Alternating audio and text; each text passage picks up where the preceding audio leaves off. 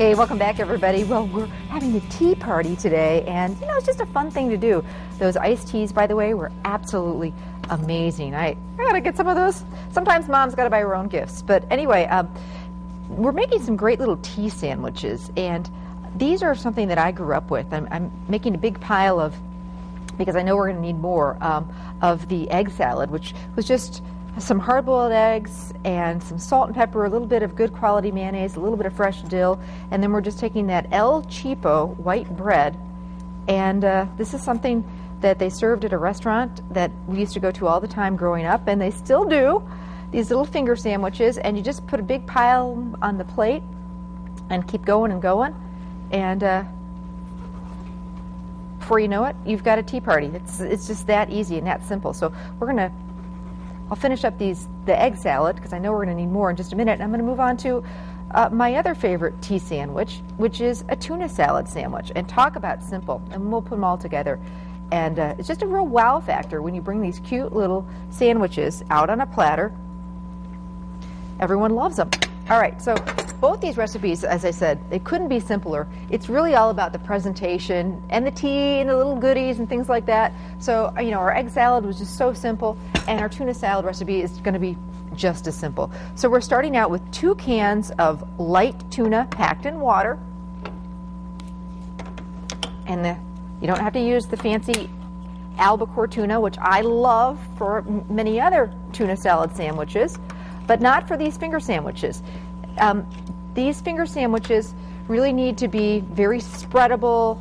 It, you know, the tuna salad shouldn't have a lot going on. I, you know, I make a, a great tuna salad, more of a more gourmet tuna salad with water chestnuts and celery and fresh dill and lemon, and it's just delicious. Um, but this is just more of a real simple recipe. We're keeping it real simple. So I want to drain this real well, both these cans of tuna. And talk about inexpensive. I know tuna's gone up a little bit in price, but this is stuff you can normally find on sale. It's the stuff I usually put in the tuna casserole. Just the, the chunk light. I always get the packed in water for these sandwich recipes. I know some people swear by the the uh, the, the oil, but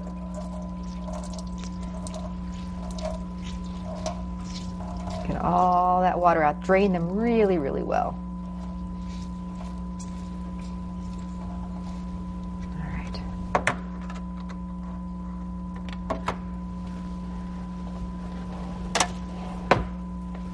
Hey, we're still looking for your very best summer recipes, by the way. Um, we're putting together the ultimate backyard barbecue menu, and we need your help. We are looking for your best summer salad recipe, your best summer appetizer recipe, uh, do you make a really fun signature cocktail that's great in the summer, or maybe a non alcoholic, really refreshing drink that's just wonderful in the summer?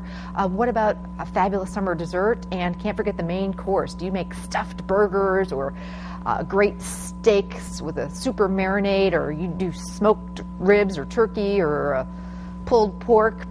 We need to know about it. What we're going to do is we're going to put two finalists in each of these categories, and you're going to come on the show and you're going to cook with me. Going to have a little cook off.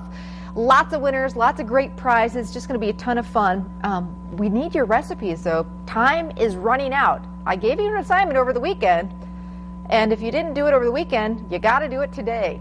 Get us those recipes, and you can get them to us by going to our website, fox11online.com, and click on uh, Ultimate Backyard Barbecue. Fill out the information there along with your recipe. You can also mail those recipes to Living with Amy, Backyard Barbecue, P.O. Box 19011, Green Bay 54307. Make sure if you mail them to us, you include your name and your phone number and your email and of course the recipe so we can get a hold of you. You can also drop off your recipes here at the station. So get us those recipes. We need them soon. All right, back to the tuna salad.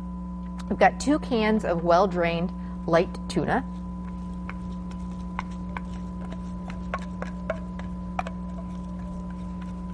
Packed in water.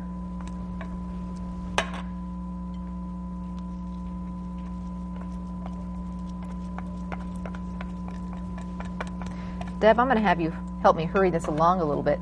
Uh, again, like with the, um, the, the egg salad sandwiches, we're using the very inexpensive, the really soft wheat bread. Um, this is the other kind of bread that I buy a lot to get because my kids will eat it. So it's the inexpensive, and we're going to cut off the crust just like we did save these for later. So I'm going to have you, do you mind cutting off the crust of a few of those? Wonderful. Deb's going to help me out here. All right, I'm going to get back to the tuna salad. We're going to use, again, some mayonnaise. I always like to start with a little. I can always add more. And I like some dill. I'm a big fan of dill pickle. And I believe at the Sugar Bowl, where I believe they used a dill pickle relish. If they didn't, that's what I prefer. So um, just a little bit of the dill pickle relish, and that's it. That's the recipe. I told you it was easy. So two cans of tuna, a little bit of mayo, and dill pickle. If you don't like dill, you could use the sweet. Do a little bit more mayonnaise in here. And again, we want this to be a spread. But every can of tuna is a little different, so hard to give you an exact amount. I just kind of eyeball it. I always start with a little and I can always do more. Eh, let's do a little bit more. It's just me. It seems like we need a little bit more in the tuna than in the egg mayonnaise. And real good quality mayonnaise. Again, we're not using the salad dressing. That's just a little too sweet in my book.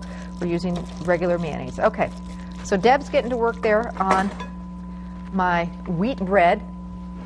Again, the inexpensive wheat bread. Thank you very much.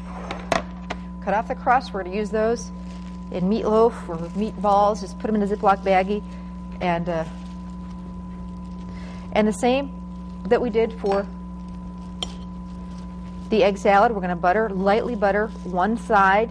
And this is real softened butter because this bread tears apart really easily. So we want to make sure that butter is at room temperature, real spreadable.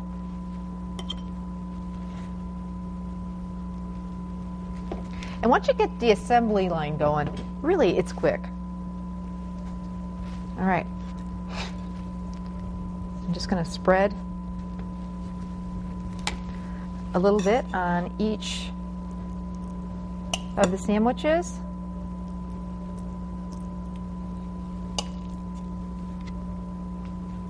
Tops go on. And again, we're going to slice, slice these. Don't overfill these. These are tea sandwiches. It's not like you're going to the deli and you, you know, those big sandwiches where you can barely get, you know, them in your mouth. This is the ladies' little luncheon, so we're going to keep it simple. And Deb, could I borrow that knife? Thank you. And we'll just slice these up again on the angle. If you wanted to be creative, you could use the cookie cutters again. And if you wanted to save a step, you don't even have to cut the crusts off. If you just slice them on the angle, they really look cute too. So just right across. Pile them up on your plate, put them next to the, gotta offer both. Gotta offer the egg and the tuna in my book at the ladies' luncheon. Recipes are on our website. You can also pick them up at any festival foods. I'm just going to keep making those sandwiches. I know the crew's going to eat them.